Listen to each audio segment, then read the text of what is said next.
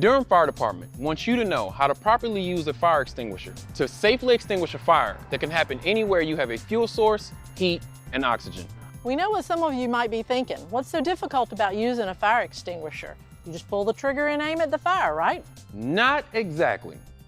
We're going to show you how to use this safe and simple tool that, when used correctly, could very well be effective in saving you, your friends, your family, or your coworkers' lives. For centuries, people endeavored to invent better, safer ways to fight fires. From bucket chains to fire grenades, fire science is constantly evolving. In 1723, English chemist Ambrose Godfrey filled a container with a liquid suppressant attached to a gunpowder charge that could be thrown into a fire.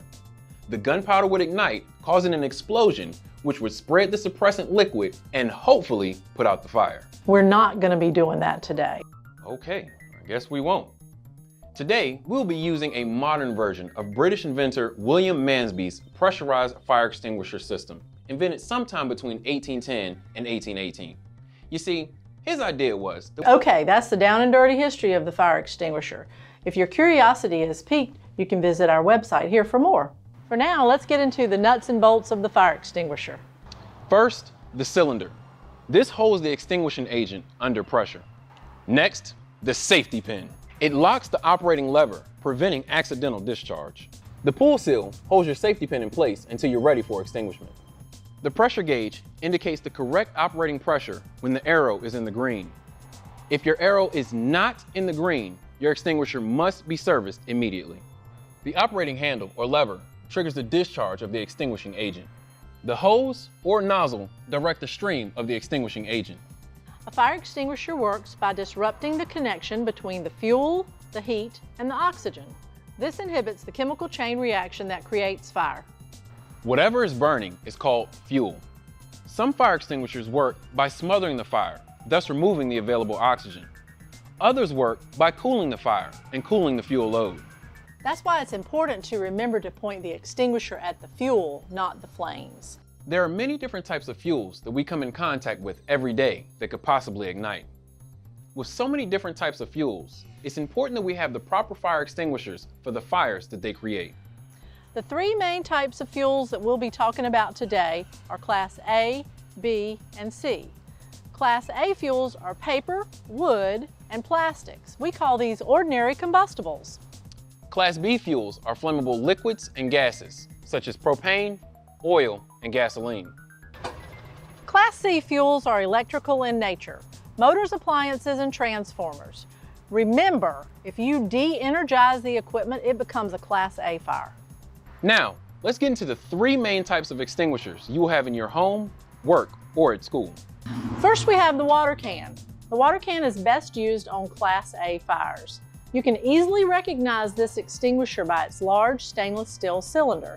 It's not commonly seen in homes or businesses. A water can is not recommended for electrical fires or easily ignited liquids such as gasoline. In an electrical fire, the water could possibly conduct electricity, electrocuting you. In a flammable liquid fire, you could easily spread the fuel, making the fire larger. Water cans function by lowering the temperature of the fuel, thus extinguishing the fire, and are highly effective on fuels such as paper, wood, and cardboard. Be very careful when using a water can. Things are going to get very wet. Also, be very careful on slippery surfaces. Grease fire tip. Don't spread the flame. Be extremely cautious when using an extinguisher on a grease fire. You could cause splatter, which could spread the fire and make the fire larger. If it is safe to do so, cover the pan with a lid and turn off the heat. Next, we have the CO2 or carbon dioxide extinguisher. This extinguisher is best used on electrical fires, but can be used on Class B fires. CO2 is stored as a liquid in the cylinder, but when discharged, turns into a gas that is heavier than air. This heavier than air gas displaces oxygen around the fire. No oxygen, no fire, no mess. You can recognize a CO2 extinguisher by its large delivery horn and its lack of a pressure gauge. The only way to know if a CO2 extinguisher is full is to weigh it. You can find the weight requirements stamped on the side of the cylinder as you see here. When using any kind of extinguisher on an electrical fire, always be sure to turn the power off to the item that's on fire.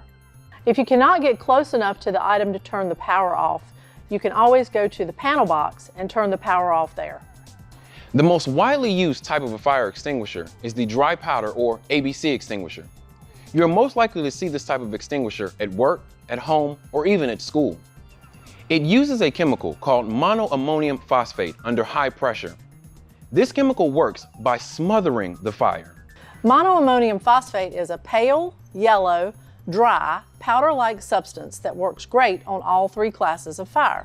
Class A for your wood, paper, and plastics, Class B for your flammable liquids like gasoline, oil, and propane, and Class C, which are electrical in nature for appliances, motors, and transformers. Just a few tips when using an ABC extinguisher. They are very messy, so be prepared. Also remember that the pale yellow chemical will linger in the air for some time. Use caution when handling an ABC extinguisher. If the pin is not in place and you discharge the extinguisher by accident, it will need to be serviced and recharged. If your ABC extinguisher has sat unused for an extended period of time, the powder will settle, making the fire extinguisher less effective. Occasionally, turn your extinguisher upside down and allow the powder to shift. There are other types of extinguishers, such as Class D, used for flammable metals. And when dining out, you may see a Class K fire extinguisher. These are used in commercial kitchens. Make sure you know where your fire extinguishers are located in your workplace. One day you may need to use them. Now, let's get into how to properly operate your fire extinguisher, starting with the three A's alert, assist, and attempt. Alert. In the event of a fire, your safety is the most important thing. If you smell smoke or see flames, be sure to call 911. Designate a specific person to make the call. Make eye contact with them and ensure that they alert the authorities. The next A is assist. Make sure you designate someone to get everybody safely out of the building and to their assembly points. Remember to assist anyone with mobility issues. Attempt. Use the extinguisher. You only have a few seconds of suppressant left in the cylinder. A general rule of thumb is you can extinguish a fire about two times the size of your fire extinguisher. Now, let's get down to technique. An easy acronym to remember in regards to using your extinguisher is PASS, or pull, aim, squeeze, and sweep. Step one, pull the pin. This pin is easily removed, unlocking the operating mechanism of the handle or lever. Your extinguisher might have a pull seal. Pull seals ensure that the pin stays secure to prevent accidental activation of your extinguisher. They're lightweight and made to be broken easily with just a twist. Step two, aim. Aim your fire extinguisher's nozzle at the base of the fire. The flames are not what is burning. You must cool the fuel that is burning. Step three is squeeze. Operating from a safe distance, squeeze your handle down. Step four, sweep. Operating from a safe distance, sweep the nozzle back and forth at the base of the fire. Never turn your back on the fire. Once you have emptied the extinguisher, safely exit the building, closing all doors behind you, and join the rest of your group at the designated assembly point. Remember, even if you don't completely extinguish the fire, your actions have given others a chance to reach safety, and that's a win. That's it. Congratulations you are now better prepared to respond in case you need to use that red thing on the wall.